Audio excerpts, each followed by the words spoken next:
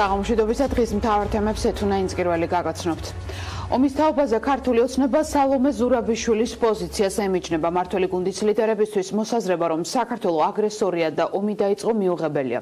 უმრავლესობა რომელიც მეტნაკლებად გამოხატავდა სიმპათიებს დამოკიდებელი კანდიდატის მიმართ დღეს ამბობს რომ სალომე ზურაბიშვილი ქართულ ოცნებასთან არაფერ შუაშია. რუსტან დუმბაძე გვეტყვის რა თქვა სალომე ზურაბიშვილმა რომელიც უკვე სათუა მართველი გუნდის მხარდაჭერით ისარგებლებს თუ არა. you სალომე ზურაბიშვილი დღეს დამოუკიდებელი საპრეზიდენტო კანდიდატია. მართლ გუნდს კი კანდიდატი არ ხავს და შესაძლოა სწორედ მას დაუჭიროს მხარი. ის რომ აქამდე ვერ მოხერხდა ამ გადაწყვეტილების მიღება, მიანიშნებს იმაზე, რომ გუნდში არაერთ სულოვნება ზურაბიშვილთან დაკავშირებით. ზურაბიშვილის ბოლო განცხადების შემდეგ კი შეიძლება ითქვას, რომ ქართული ოცნება დღეს საერთოდ გაემიჯნა ზურაბიშვილს და განაცხადა, რომ ის საერთოდ არ არის კავშირში ქართულ ოცნებასთან. მართველი გუნდის წარმომადგენლები დღეს ღიად აფიქსირებდნენ მისგან განსხვავებულ პოზიციებს.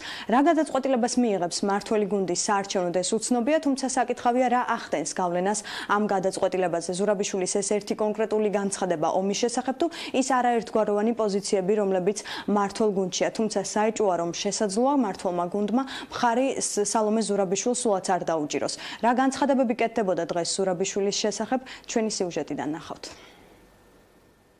ვისი კანდიდატი სამოგენია? და ოცნება რა შოში? ხარდამჭერი. ხარდამჭერი. არის.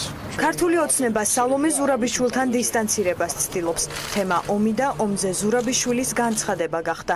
ახლა საკითხავია, დარჩება თუ არა ის სასურველ და ოცნების მიერ მხარდაჭერილ კანდიდატად. ჩვენ არ დაგვიფიქსირებია არავის მხარდაჭერა.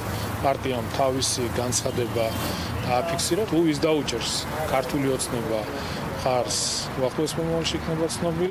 ერთადერთი რაზეც ქართული ოცნება ღიად და მინიშნებების გარეშე საუბრობს ომთან დაკავშირებული პოზიცია, რაც სალომე ზურაბიშვილისგან კვეთრად განსხვავდება.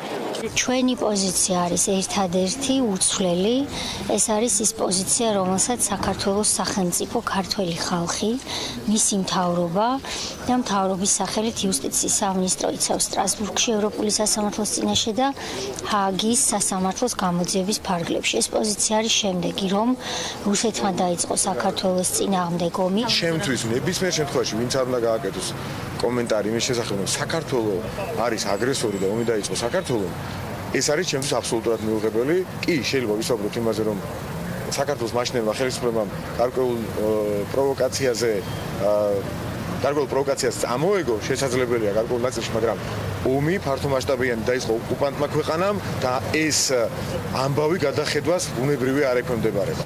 მწვავე რეაქციების საპასუხოდ სალომე ზურაბიშვილი განმარტავს, რომ 2008 წელს საქართველოს მიერ საკუთარ ტერიტორიაზე ხალხის დაბომბვა ან გიჟი პრეზიდენტის ახირება ან გაუგებარი გარიგება იყო. როცა შენ იცი რომ საზღვარზე მიმდინარეობს ივლისიდან კავკასი მწუთნები და შენ ტერიტორიაზე, შენ მოსახლეობაზე მასიური დაბომბვის დაწყება, ამას რა ქვია? უგუნურობა, გიჟი პრეზიდენტის ახერება თუ რაღაცა უცნაური და გაუგებარი გარიგება ჩვენ საუკუნოვან ტერთან. და ეს არის ის კითხვა, რომელსაც თქვენ უნდა სვამდეთ, რომელზედაც ანალისტები და ჟურნალისტები უნდა ფიქრობდნენ. მიწინა ივანიშვილი გეთახმებათ ამ პოზიციას? მას უნდა კითხოთ.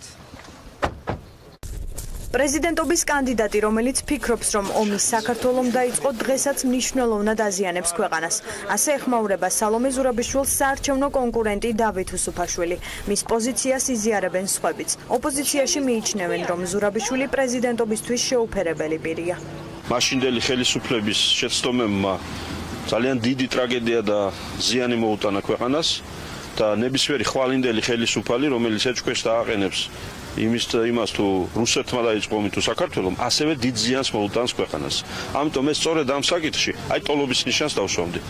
მაშინ პრეზიდენტ სააკაშვილი ძალიან ბევრი შეეშალა და სწორად და კარგად ვერ დაიწყო ქვეყანა, დიახ ეს ასია.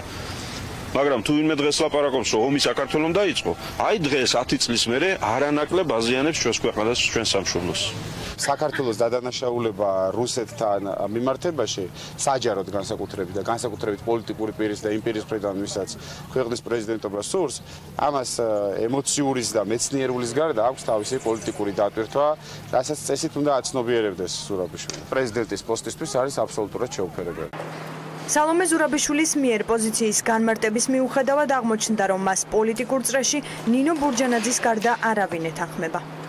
ჩემი პოზიცია არის, რომ დიახ, სააკაშვილის ბრალია ომი, ამ ომის თავიდან აცილება იყო შესაძლებელი, რომ არა სააკაშვილის ახირება, რომ რუსებს აქვთ შეიძლება ბევრი, მაგრამ დაჟანგული ტანკები, რომ რუსები ვერ გაბედავენ ომში ჩართვას და რომ ამერიკელები ჩვენ დაგვეხმარებიან. რომ არა ეს ახირება, ეს ომი არ იქნებოდა. როგორც ჩანს სალომე ზურაბიშვილის მიმართ ერთსულოვნება ქართულ ოცნებაში არ არსებობდა. შესაძლოა სწორედ ამ მიზეზით შეიკავა თავი ორი დღის წინ ოცნებამ სასურველი დამოუკიდებელი კანდიდატის დასახელებისგან. ომზე განცხადება თუ განწყობები გუნდში. ახლა საინტერესოა რომელი მიზეზით გაემიჯნება ოცნება სალომე ზურაბიშვილს. ეს ერთი ვერსიით, მეორე ვერსიით კი ის ისევ რჩება კანდიდატად, რომელსაც მართველი გუნდის მხარდაჭერა ექნება. გენერალ სამსონ ქუთათელაძის კლუბაში ბრალდებული გიორგი ჭანტური ამბობს, რომ არ მოუკლავს და საქმესთან არანაირი კავშირი არ აქვს. დღეს შინაგან საქმეთა სამინისტრომ გენერალ სამსონ ქუთათელაძის კლუბის საქმე გახსნილად გამოაცხადა. სამართალდამცველებმა ადრე დაკავებული და შემდეგ გათავისუფლებული გიორგი ჭანტურია გუშინ დააკავა. გახარიას უწყების თანამშრომლებმა ბრალდებული სახლიდან სამი ავტომატი 500 ვაზნა და 24 მჭიდი ამოიღო. ცეცილი ბოკერია გახმაურებულ საქმეზე უფრო მეც ეთნადია ერთი და იგივე საქმეზე უკვე მეორე დააკავებული გიორგი ჭანტურია ამ დროისთვის რუსთავის წინასწარი დააკავების იზოლატორში ბრალის ოფიციალურად წარდგინებას ელოდება თუმცა 8 თვის წინ ზუსტად საგამოძიებო უწყების თანამშრომლებმა პოლიციის შენობიდან ჭანტურია მტკიცებულებების არქონის გამო გაათავისუფლეს. შინაგან საქმეთა სამინისტრო კი დღეს ამბობს რომ საქმე გახსნილია და გენერალ ქუთათელაძის მკვლობას მხოლოდ და მხოლოდ ერთი ბრალდებული გიორგი ჭანტურია ყავს. ასევე უწყების თანამშრომლები ამბობენ რომ საქმე საქმის მასალებში საკმაოდ მნიშვნელოვანი მტკიცებულებები დევს და ისინი ამჯერად დაამტკიცებენ ჭანტურიას. ბრალეულობას ამ საქმეში დღეს ასევე კლუბიდან 8 თვის შემდგომ პირველად სამსონ ქუთათელაძის ცოლმა დუმილი დაარღვია და ჟურნალისტებთან. კომენტარი გააკეთა მან მადლობა გადაუხადა საქმეზე მომუშავე სამართალდამცველებს გაწეული სამსახურისთვის და იმედოვნებს რომ სასამართლო გიორგი ჭანტურიას. პატიმრობაში დატოვებს უფრო დეტალურად და ვცლად ვნახოთ ჩვენს მიერ მომზადებულ სიუჟეტში გენერალი ნახე თქვენ სამსახური გავარდ დამეჭირებს გამოწიროს გენერლის მკვლობისთვის ადრე დაკავებული და შემდეგ გათავისუფლებული გიორგი ჭანტურია მეორე დააკავეს. როგორც ადრე დაკავებული დღესაც ირწმუნება, რომ გენერალი მას არ მოუკლავს. ის მკვლობიდან მეორე დღეს ჯერ კიდევ 8 თვის წინ აიყვანეს, თუმცა მტკიცებულებების არქონის გამო მალევე გაათავისუფლეს. დღეს უკვე შინაგან საქმეთა სამინისტროში ამტკიცებენ, რომ საქმე გახსნილია და საქმის მასალებში დევს ყველა მნიშვნელოვანი ექსპერტიზის დასკვნა. მოწმეთა ჩვენებები და საგამოძიებო მოქმედებების დროს მოპოვებული ფარული აუდიო ვიდეო ჩანაწერები, რაც ჭანტურიას ბრალეულობას დაამტკიცებს. 6 თვის განმავლობაში გამოძიება შეუჩერებლად მუშაობდა, ჩვენ ჩავატარეთ ათეულობით საგამოძიებო მოქმედება, დაიკითხა არაერთი მოწმე, მათ შორის შემთხვევის შემსწრე მოწმეები, რომლებმაც მნიშვნელოვანი ინფორმაცია მიაწოდეს გამოძიებას, ჩატარდა ათეულობით ექსპერტიზა, რომელმაც ასევე საბოლოო შედეგებზე გარკვეულწილად გავლენა მოახდინა. გაიჩხრიკა ასევე ბრალდებული საცხოვრებელი ბინა, რის შედეგადაც ამოღებულია სამი ავტომატური ცეცხლსასროლი იარაღი. უწყების ოფიციალურ ინფორმაციას, რომ ჭანტურიას კუთვნილი ბინიდან პოლიციელებმა სამი ცეცხლსასროლი იარაღი ამოიღეს, უარყოფე და უნდობლობას უცხადებენ უფლებადამცველები. მათი მტკიცებით გიორგი ჭანტურიას საქმესთან შეხება არ აქვს და ის უკანონო პატიმარია. გიორგი არიცნობს საქმის მასალებს, თვითონაც გაოცებული და გაოგნებულია იმ ფაქტით, რაც გასულღამეს მოხდა და როგორც მოხდა მის საცხოვრებელ სახლში, როგორც იარაღების ჩადება, შემდეგ იმავე იარაღების ამოღება. მე ძალიან გაოგნებული ვარ, ასევე ჩემი დაცვის ქვეშ ყოფი არის ძალიან გაოგნებული. ჯერ ესე იგი წარმოგიდგენთ, დაკავება მოხდა ადამიანის, დააკავეს სასამართლოს გაჩნების საფუძველზე და მე გადაუდებული აუცილებლობით შედიან სახლში და შემთხვევით ნახულობენ სამ ავტომატს, 500 ტყვიას და 21 ეგრეთ წოდებული მჭიდს. ეს ეს მე არ ვიძახი არაფერს არც ჩაუდეს არ ვიძახი რომ ციდან ჩამოფრინდა ან საიდან მე ვიძახი რომ თვითონ საზოგადოებამ გასცეს პასუხი თუ რამდენად ლოგიკურია ეს ყოველივე გენერლის მკვლობიდან 8 თვის შემდეგ დღეს პირველად დუმილი დაარღვია მოკლული სამსონ ქუთათელაძის ცოლმა და საქმეზე მომუშავე სამართალდამცველებს მადლობა გადაუხადა. მეგის ირბილაძის თქმით, მათთვის მკვლელის ვინაობა და მოტივი ცნობილი იყო და იმედს გამოთქვამს, რომ სასამართლო ჭანტურიას პატიმრობაში დატოვებს. ისედაც ვიცოდით ჩვენ რომ მკვლელი დაკავებული პიროვნება იყო და ამის საფუძველიც ჰქონდა რადგან მასა და ჩემ მეუღლეს შორის დიდი ხნის განმავლობაში არსებობდა ფინანსური უთანხმოება და სწორედ ეს უთანხმოება იყო ამ მკვლელობის მოტივიც. ვიმედოვნებ რომ სასამართლო გაითვალისწინებს სწორად წარმოებული გამოძიების ყველა დეტალს და მკვლელი კანონის მთელი სიმკაცრე დაისჯება. დაკავებულის ბრალეულობაში ეჭვიართ სტამბოლის ბაზრის დირექტორს ეპარება და ქუთათელაძისა და ჭანტურიას დაპირისპირებასაც იხსენებს.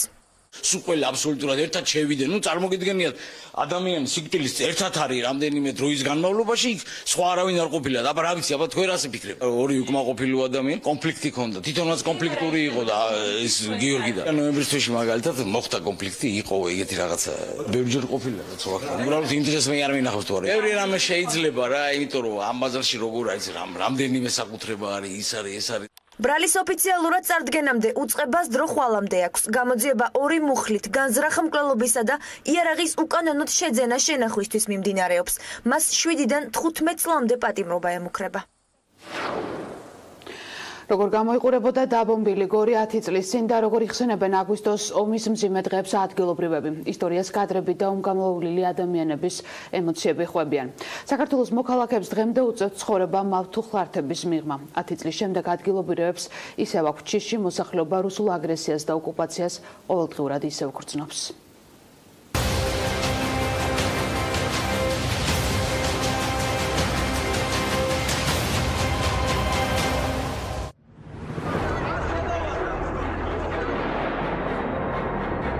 მარტო ჩვენ დასახლებაში 17 ცხედარი იყო. იყო უსამართლობა და უსამართლობა და პატარა პატარა კაცრო დიდი კაცი ჩაგრის და რაღაცა.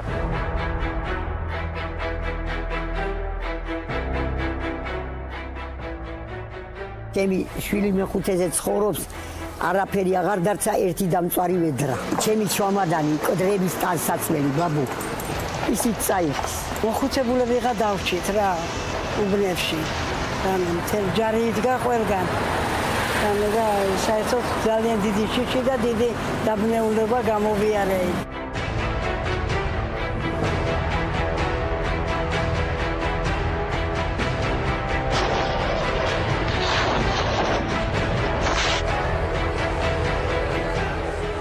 სიმართლე გითხრათ ნამდვილად არ მინდა გახსენება, ანუ მაგრამ ამას ვერაფერს ვერ უს. პრაქტიკულად შეუძლებელი იყო ნებისმიერ ქირურგთან დაკავშირება და მეტ პერსონალთან დაკავშირება, იმიტომ რომ წამი არ არსებობდა, როცა ისინი იყვნენ თავისუფლები. მეოთხე ბრიგადამ რომ მოაყენა ეს ჰაილუსები და ჩვენ აღარ გადმოვიღეთ ის მიცვალებულები, ბიჭი რომელიც ახლდა ამათ რამის გადაგვედია რა. არა, გახსენება არ მინდა, ძიმე.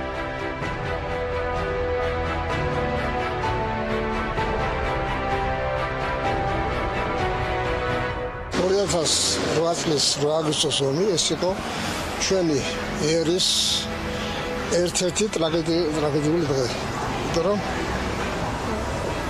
ყოველგვარი მიზეზების გარეშე ჩვენმა ჩრდილოეთ მეზობელმა ფელი მსოფლიოს დაუკითხავთ, შემოიყვანა ჯარები. ხელყო საქართველოს ტერიტორიული ერთიანობა. მაგრამ არ ამგონია, რომ ეს ქართველმა ერმა, რომელსაც თავის არის ისტორიას მრავალი ომი გადავიდანე მრავალი გაჭირება აუცილებლად ხმგონი მივაღწევთ სოფლიოს ხალხს პროგრესული ვაზონე პოლიტიკოსების ხარდაჭერით რომ როგორღაც დავიღოთ ჩვენ დაგებული ტერიტორიები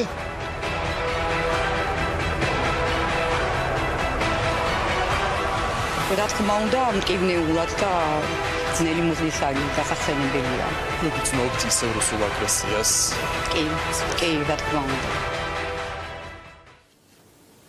და ახლა კიდევ რამდენიმე ისტორია, რომელიც ჩვენმა ჟურნალისტმა მუხათგვერდის სასაფლაოზე მოისმინა. მე ვარ ანა ანწუხელიძე 9 წლის გიორგი ანწუხელიძე შვილი. სუხიტაშვილი ოთარის დედა. შმაგე ხაიკაშვილის დედა ვარ. ზრაზა ბირთველიშვილის დედა ვარ. რომელიც 2008 წლის აგვისტოს ომზე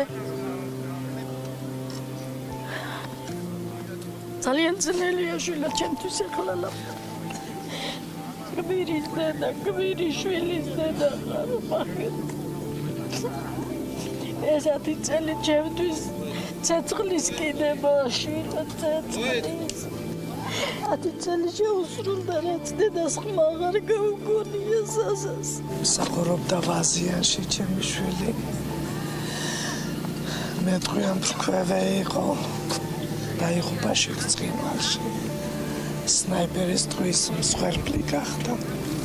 ჩემი შვილი ძალიან უყვარდა სამშობლო და სამშობლოსაც შესწირა თავი უგზო უკლოთ არის დაკარგული შვილი. ცარია საფლავზე ვტირი საფლავიც არა ბაქრო საფლავზე ვტირი ჩემი შვილი გმირი. გმირი დედა ვარ და მაყი დედა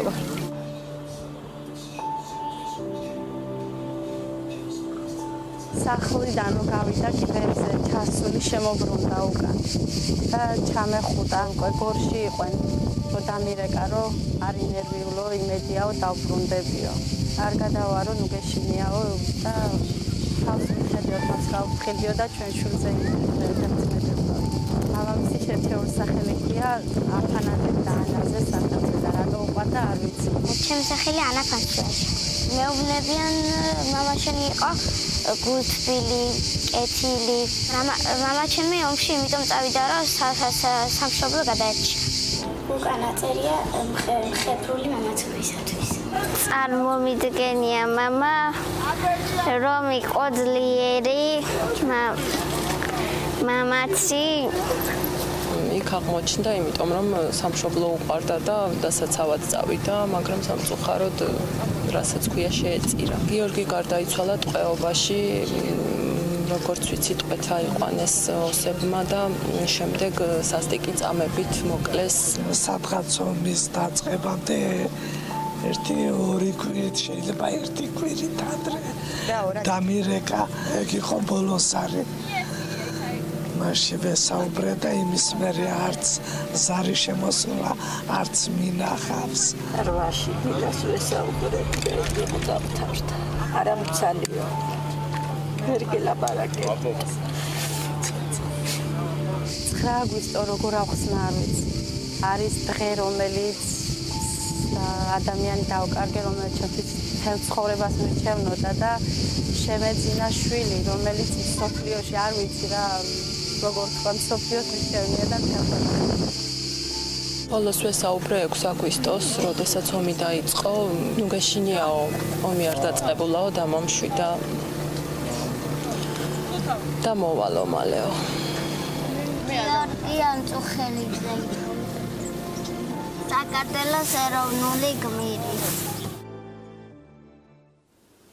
აგვისტოს ომის გმირების ბოლო სატელეფონო გზავნილები დედასთან, ცოლთან, ოჯახის წევრებთან. რეალური ამბების მხატვრული რეკონსტრუქცია ამბები ჯიმ და პალიტრა ვიდეომ შემოგთავაზა. ჩვენ ამ მასალის ჯარისკაცების ბოლო სატელეფონო გზავნილების გახმოვანებულ ვერსიას გთავაზობთ. თემო გირეკავდი, რატომ არიღებ? მომწერე რა გთხოვ, ნერვიულობ. ბიჭებთან ვერ გელაპარაკე მშვიდობაა, რა განერვიულებს გოგო, ბავშვები რა შვებიან? ძინავთ უკვე. ეს მამუკა მამუკა რამში შარა ყოფილა. გაზის ბალონი მოხსნა და სადღაც წაიღო. რუსებმა არ დაგვომბონო. ჭური თუ დაგოცა გაზის ბალონი გინდ ყოფილა გინდა რა აუ ეგ რა როჟაა დამიკოცნე ბავშვები. მშვიდობაა რა ომი სწავლებები გვაქვს უბრალოდ. სათხარ დედი დილიდან გირეკავთ ლამისაა გული გამისკდეს. ათასი დეზინფორმაცია ვრცელდება აქ. ამბობენ ცხინვალში მიყავთო. მაღაზიები დაკეტეს რუსი სამხედროები არ შემოვიდნენ რამდენი გირეკია დე რას პანიკიორობთ ესო ხერი ტელეფონით ლივის დავტვენე სადღაც გადაკარგულ სოფელში ვართ ვემზადებით ცხინვალში მიყავ ხართ დედი. რა ვუყო რა წყალში გადავვარდე. წავალთ და ჩამოვალთ ნუ იგრუზებით ყველაფერი კარგად იქნება. წავედი როცა შევძლებ მე თვითონ მოგწერდა დამშვიდით მან. თემო როგორ ხარ ძმაო მშვიდობა გაქვს? თემო რა ხდება ბიჭო მათ? ნერვიულობთ ბიჭები. რავი დავით არა კაი ამბავი სიმაღლეებიდან ისვრიან უკვე დაჭრილებიც ყავს ვა ჰამათი დედა ჩვენ გორში ვდგავართ.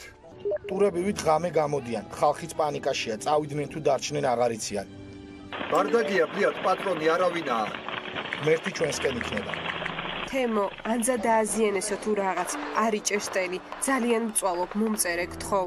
ხაშურში გზა გადაკეტეს გარეთ არავინ არ გადის. ბომბდამშენმა გადაგვიფრინა თავზე. გორისკენ მიფრინავდა საშინელება იყო. მამუკამ ბავშვებს ყურები აუხვია ნაჭრით. არ დაყრუდნენ რას ამბობ? თხილად იყავით, ტელეფონი სულ დამჯდარია, დატენის დრო არაა აქ. თქვენზე ფიქრი მაძლიერებს, ერთი სული მაქვს ჩაგეხუტეთ. ღმერთო, მალე მორჩეს რა ყველაფერი, აღარ შემიძლია ზურგ ჩანთა გავამზადე. საჭირო ნივთები ჩავდე, თუ რამე ტყეში გავიქცევით. ბავშვები არ შეაშინოთ, ყველაფერი კარგად იქნება. მამუკა დააწყნარეთ კიდე. ხო, 2 მეტრიანი მაინც არ იყოს. მიყვარხარ. ბომბავენ ეს შემისები, ძალიან ცუდი სიტუაცია, მანდ რა ხდება? თემო, სათხარ. ბიჭო, თავად ამიბომბეს, მელაპარაკებოდა და ჩემს თვალწინ რაღაცამ შუაზე გაჭრა. აუ, არ მითხრა, რუსთაველაა დაჭრილი, კახილოს გამოსაყვანად წავიდა და ნაფლეთებად იქცა. როკის გვირაბიდან მოდიან კოლონებითო. დეცოცხალი ვარ. მოგიკვდეს დედიკო, ცოცხალ მკვდარი ვართ მე და მამაშენი. მთელი დღე ვლოცულობთ რომ სახსალამათი დაგვიბრუნდე. მამაშენს რომ ცხოვრებაში პირჯვარი არ გადაუწერია, ხატებთანაა დამხობილი და ისე ლოცულობს. არ გაგიყופო დედიკო.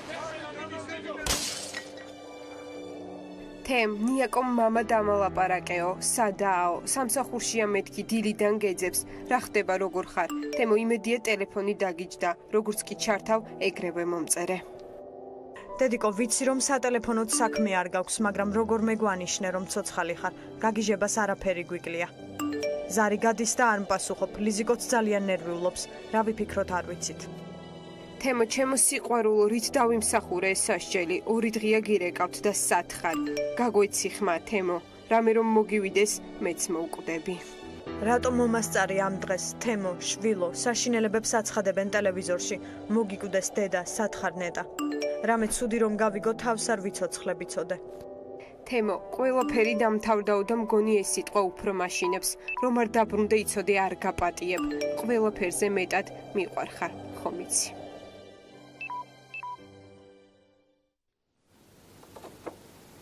და ინფორმაცია რომელიც სულ ცოტა ხნის წინ გავრცელდა უსური მედიის ცნობით ოკუპირებულ ცხინვალში დე-ფაქტო მთავრობის სახლი იწვის ოფიციალური ინფორმაციით ხანძრის ზუსტი გამწვევი. მიზეზი უცნობია თუმცა შესაძლო მიზეზი ელექტროგაყვანილობის გაუმართავობას უკავშირდებოდეს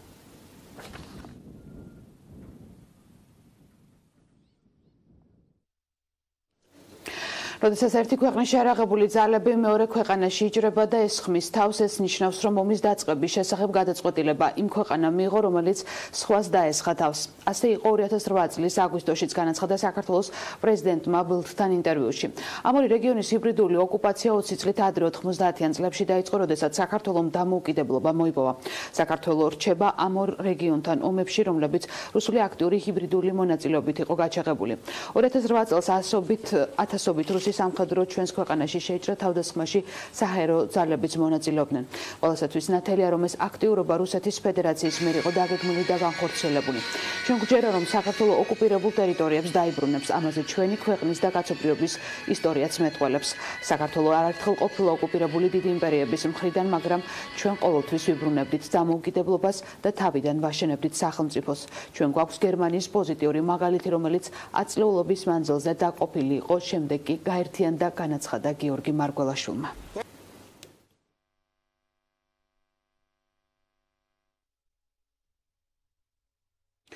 აგვისტოს ომში დაღუპული თანამშრომლების ოჯახის წევრებს და თანამებრძოლებს შინაგან საქმეთა მინისტრი შეხვდა. გიორგი გახარიამ დაღუპული თანამშრომლების ოჯახის წევრებთან ერთად სამინისტროს ეზოში სამსახურებრივი მოვალეობის დროს დაღუპული პოლიციელების მემორიალი გვირგვინით შეამკო. 2008 წლის აგვისტოს ომის დროს შინაგან საქმეთა სამინისტროს 14 და სანაპირო დაცვის 5 თანამშრომელი დაიღუპა. სამინისტრომ 19-ვე დაღუპული თანამშრომლის ოჯახს წელს მატერიალური დახმარება გაორმაგებული თანხით გაუწია. ხონიზებაზე კიდევ ერთხელ გაიხსენეს 2008 წლის აგვისტოს მოვლენები. მამაჩემმა ომიდან დამირეკა და მითხრა რომ როცა ჩამოვიდა და ბევრ საჩუქრებს ჩამომიტანდა. ძალიან კეთილი იყო და ძალიან ძალიან მომცი იყო და გმირი მამა მყავდა. 8 აგვისტოს დილით გამთენიისას უკვე მოგვიწია ცხინვალის სადგომებთან. რა დროსაც უკვე გაიხსნა საპასუხო ცეცხლი და მოხდა ჩვენი პოზიციების დაბომბვა. რის შემდეგაც ჩვენებეს უკაპანაძე ადგილზევე გარდაიცვალა. ჩვენი ვალი ამ ადამიანების და ამ ქვეყნის მიმართ შეგვიძლია აღვასრულოთ პირველ რიგში აი ამ ბავშვების და ამ ახალგაზრდების და თქვენი მხარდამჭერით. ამიტომ ყოველთვის გქონდეთ ჩვენი იმედი. 14 პოლიციელი, 5 მესაზღვრე მიუხედავად იმისა, რომ სამინისტრო დიდია, თითოეულ ახალგაზრდას, თითოეულ ადამიანს უდიდესი ფასი აქვს ამ ქვეყნისთვის და ამ სამინისტროსთვის. რუსი პატრიოტის შიში თუ პროტესტისთვის შეუფერებელი ადგილი პუტინის ფოტომ რესტორან მაჭახელაში მომსახურე პერსონალსა და კლიენტებს შორის ინციდენტი გამოიწვია. დღეს კი რესტორნის ხელმძღვანელობა იძულებული გახდა თანამშრომლები სამსახურიდან გაეთავისუფლებინა. განცხადების გავრცელების შემდეგ დღეს იმ რესტორანში, სადაც ინციდენტი მოხდა, სიტუაციის გამოსასწორებლად ხელმძღვანელობამ მაჭახელას გარზე ბანერი გამოფინა. რესტორნის მაგიდაზე პუტინის გამოსახულებიანი ტრანსპარანტია. დაცვის თანამშრომლები კი კლიენტებს მაგიდიდან ფოტოს აღებას ურჩევენ. მოგვიანებით ანაგვათუა სოციალურ ქსელში ინციდენტს აღწერს, რომელიც რესტორან მაჭახელაში აქციიდან წამოსვლის შემდეგ შეემთხვა. ჯერ მოგვიგზავნეს მიმტანი, შემდეგ მენეჯერი, შემდეგ დაცვა, შემდეგ დაცვის უფროსები თხოვნით, რომ მაგიდიდან აგვეღო აქციიდან წამოღებული პუტინის ტრანსპარანტი. მიზეზი არის შემდეგი: მაჭახელა არ არის პროტესტის გამოხატვის ადგილი, იქნებ ვინმე რუსი პატრიოტი შემოვიდეს. მიუხედავად იმისა, რომ ჩვენ მაგიდასთან მოვიდნენ, იქ მსხდომი რუსი ტურისტები და ოდნავ დარცხვენით გვითხრეს, რომ რუსეთიდან არიან და მათაც არ უყვართ პუტინი. ანა გვათუა სოციალურ ქსელში წერს, რომ რესტორანს გაცილებით ძვირად დაუჯდებოდა ეს საქციელი, ვიდრე რამდენიმე პატრიოტი რუსის სტუმრის წყენინება. ინციდენტიდან რამდენიმე საათში ასეც მოხდა. მაჭახელას ადმინისტრაციამ სოციალური ქსელით ბოდიში მოიხადა და რამდენიმე თანამშრომელი გაათავისუფლა. ის თანამშრომლები, რომელიც ყავდათ აქამდე, ისინი აღარ ყავთ ხო? და იმისეზე რა დასახელდა ამის მიზეზი? დაბორებულები არიან უფროსებთან და უფროსები აქ დაუხსნეს. ჩვენ 22 საათი მოვიდა ამის მენები პრაქტიკულად როგორც მუშაობ ვინძგუშინგე მუშაობდე დღეს არც ერთი არ არის აი ინციდენტიდან ბოდიშამდე სოციალურ ქსელში მაჭახელას მიმართ არაერთი კრიტიკული სტატუსი გაჩნდა. შესაძლოა იმის დასტურად, რომ ბოდიში კლიენტების დაკარგვის შის არ უკავშირდებოდა, მაჭახელას კარებზე ახალი წარწერა გაჩნდა.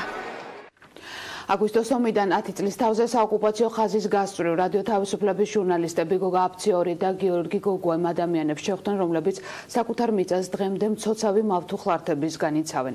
იცავენ თავისებურად ჯიუტად მედგრად, იქ ცხოვრება უკვე გმირობა. მცოცავი ანექსია და სამოქალაქო გმირების ამბები რადიო თავისუფლების მომზადებულ სიუჟეტში ნახეთ ჩვენს ეთერში.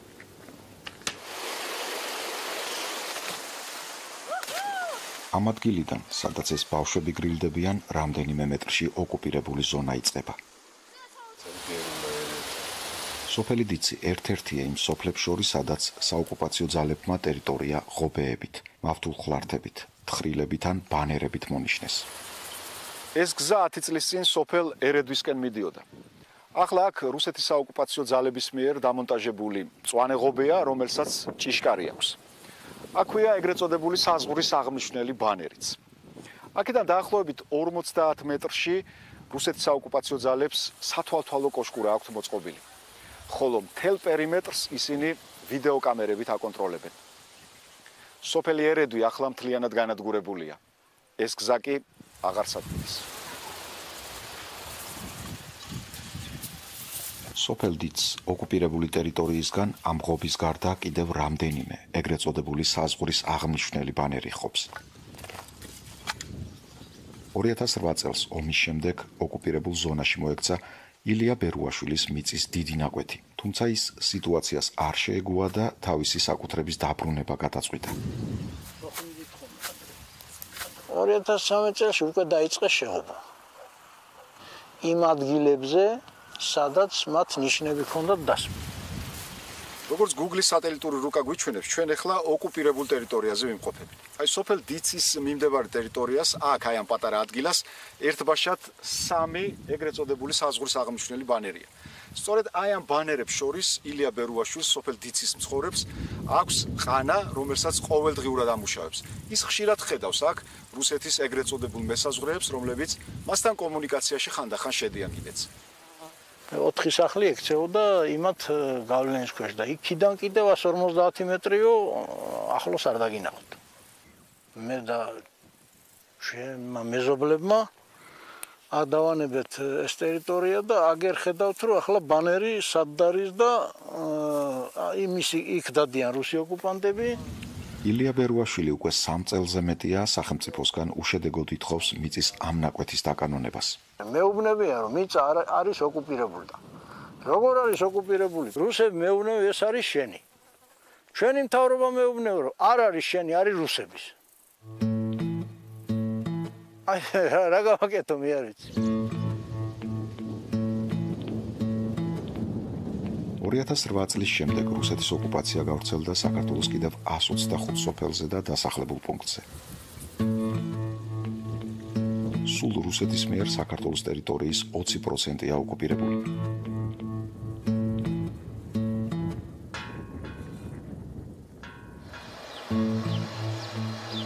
პეტუაშვილის ოჯახი ერთ-ერთია იმ 26000-მდე ადამიანს შორის, რომლებსაც საკუთარი სახლკარის იძულებით დატოვება მოუწიათ. მისი სახლი სოფელ კარალეთში დღეს თბილისის კონტროლირებად ტერიტორიაზეა, თუმცა იქ ცხოვრება შეუძლებელია. 10 წელია ამ სახლში აღარავის უცხოვრია. 2008 წლის აგვისტოს ომის დროს აქ მარადიორები და რუსეთის 58 არმიის წარმომადგენლები შემოვიდნენ. სოფელ კარალეთში პეტუაშვილების სახლი ჯერ გაძარცვეს, შემდეგ კი ცეცხლი წაუკიდეს. ჰამლეტ პეტუაშვილს ეს სახლი აღარ აღუდგენია. აქ იყო თლიანი ზალა, აგერაკ კედელზე იყო სუმთრად ფიცარში იყო თლიანად ჩასმული მთელი სახლი რა. მაგლა იყო თლიანი ზალა, იქით იყო ორი სპალნა, ორი სპალნა აქეთკენ იყო, შუაში მისაღები იყო, შიგნითაც ასევე იყო. აი ესე გაგვანადგურეს გამანადგურეს რა ორი სახლი გაანადგურეს ერთი ორი წინა мама პაპის დიახ ერთი აგერეს მეორე ეს მესამე იქ საკეიფო მქონდა კიდე სიგძეზე აი რას ის დავაკვირდე ერთადერთი რაც აქ არის გახარებული ომის მერე ეს არის ვაზი და აქ რომ მოვედი ეს ვაზები იქ რა ქვია მამაჩემის ჩარგული ვაზები იყო ცოტა მსხვილი ვაზები იყო გამართული ხეივანი ყველაფერი და სულთლად დამწვარი იყო ძირამდე ჩავყარი ახლები და ღმერთის წყალობით გაიხარა და არის რა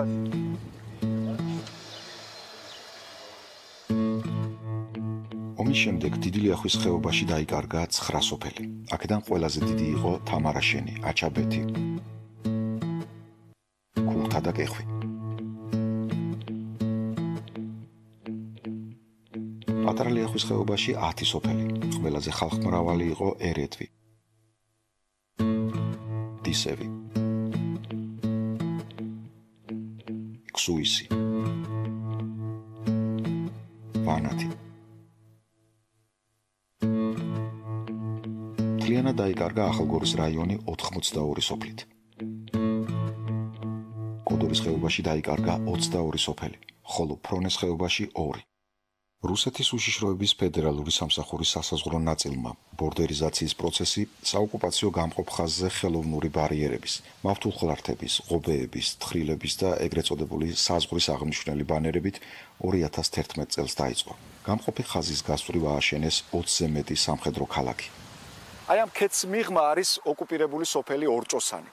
მაგრამ რუსეთის მესაზღვრეებმა ეს ბანერი სოფლის შესასვლელთან არ დაამონტაჟეს. ის კიდევ უფრო ახლოს არის ცენტრალურ ავტომაგისტრალთან დაახლოებით 200-300 მეტრში და ამ ბანერს მიღმა მოექცა ბაქოს სუფსას ნავთობსადენის ერთი მონაკვეთი. ეს ბანერი 2015 წლის 10 ივლისს დაამონტაჟეს.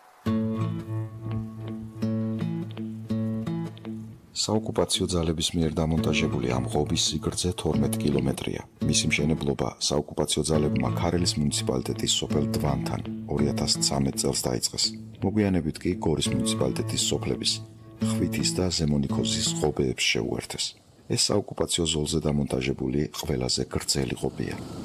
ცხინვალის რეგიონის მიმართულებით საოკუპაციო გამყოფი ხაზის სიგრძე 350 კილომეტრია. ჩვენ ახლა სოფელ ხურვალეთში ვიმყოფებით. პირველი მავთუხლართი სწორედ ამ სოფელში გაავლეს. აქ ცხოვრობს 84 წლის დავით ვანიშვილი. მისი სახლი აი ამ მავთუხლართებს მიღმა დარჩა, ხოლო მიწის ნაკვეთები აქეთ საქართველოს ხელისუფლების მიერ კონტროლირებულ ტერიტორიაზე. 10 წელია მოხუცი დახმარებას ითხოვს, მაგრამ დახმარების სანაცვლოდ მას ხშირად აპატიმრებენ. დავით ვანიშვილი პენსიის ასაღებად საქართველოს ხელისუფლების მიერ კონტროლირებულ ტერიტორიაზე გადმოდის, ხოლო უკან დაბრუნებულს მას ეგრეთ წოდებულ საზღვრის დარღვევის ბრალდებას უყენებენ, ცხინვალის იზოლატორში გადაყავთ და იქიდან 2000 რუბლიანი ჯარიმის სანაცვლოდ ათავისუფლებენ. ეს არის საქართველოს ტერიტორია. 94 წელიწად ვარ, 94 წელიწადი აქა ცხოვრობ. აქაო, ეხლა გავხდი რუსეთის მოქალაქე. საოკუპაციო ხაზის გადაკვეთის გამო 2008 წლიდან დღემდე საქართველოს 1200-მდე მოქალაქეა დაკავებული. ხშირ შემთხვევაში იმ ადგილებში, სადაც მათ აკავებენ, ეგრეთ წოდებული საზღვრის აღმნიშვნელი ბანერი არდგას. ო ასე დააკავეს სოფელ კირბალში 81 წლის შალვა პაპიტაშვილიც. ის სოფლის განაპირას ხშირად მწყემსავს საქონელს. დღეში კი შეერაღებული პირებით განან და იქ საქონლის გამოსადევნად შესულ მწყემსებს აკავებენ. მოვიდა დამადგა. უნდა წამოხვიდეო, სადამეთ მე უთხარ ცხინვალში და. მე უთხარ რომ გაიძახეთ საზღვარი, საზღვარი, აბა სადა საზღვარი მეთქიდა. ესე იდგა და აი ესე იო ესე გაიშვილა ხელზე. ეგრე მე გავიშვილა ხელზე, რა გავიგონეთ მე უთხარ, სადა და სადა. ეგრეო მე რა გადაგვატარეს. აი მოზოლეულები აგრე თხეთქე, გვატარი გავუყარეს და აი პოსტია ახტი. იქ მე მე ვანე და ცხინვალს წავიყვანე. ათი დღე გვაყურყუდეს იქ. ჩვენ ახლა ვიმყოფებით სოფელ კირბალში. სოფლის მიმდებარე ტყე, სალოცავი, საფლავების ნაწილი ახლა მთლიანად ოკუპირებულია. ამ ადგილებში არც ეგრეთ წოდებული საზღვრის აღნიშნული ბანერები დგას. ამიტომ ადგილობრივმა მოსახლეობამ არ იცის, საიდან იწყება ოკუპირებული ტერიტორიები. სოციალური ოკუპაცია დღემდე გრძელდება. სოფელ დვანში ეს გამყოფი ხაზი მერაბ მეკარიშვილის ეზოს კვეთს. მან მშობლიური სახლის დაშლის გადაწყვეტილება მას შემდეგ მიიღო, რაც გაიგო რომ საოკუპაციო ძალებს საზღვარი მის ეზოში 50 მეტრით უნდა გადმოეწიათ.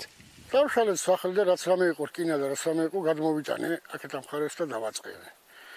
შევინახე და გავამარჯა მეორე სახლის მშენებლობაში, მეორე სახლი დავიწყე ასშენებლად.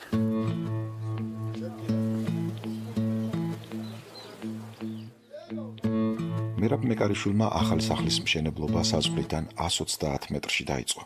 ეს არის პრინციპის ისა რომ ავაშენე ჩემ ისევ ჩემ ტერიტორიაზე თორე ბევრი მეუბნეო და რაც აშენებ მანდა რა გინდა უკვე წადი სხვაგან აშენო დაშენებული მაინც იქნება. მიუხედავად იმისა რომ საოკუპაციო ხასთან სულ ახლოსაა, გვერდზე მთიდან კი პირდაპირ რუსეთის სამხედრო საგუშაგო უყურებს, მერაბ მეკარიშვილისთვის მთავარი მაინც ისაა რომ ახალი სახლის ფანჯრები მამამისის აშენებულ ძველ სახლს უყურებს.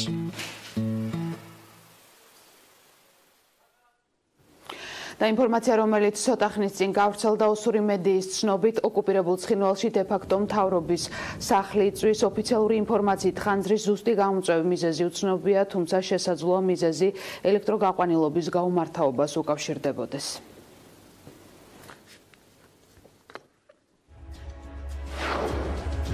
ასეთი ყობოლ ინფორმაცია ამ დროისთვის მე ხვალამდე გემშვიდობებით ნახვამდის.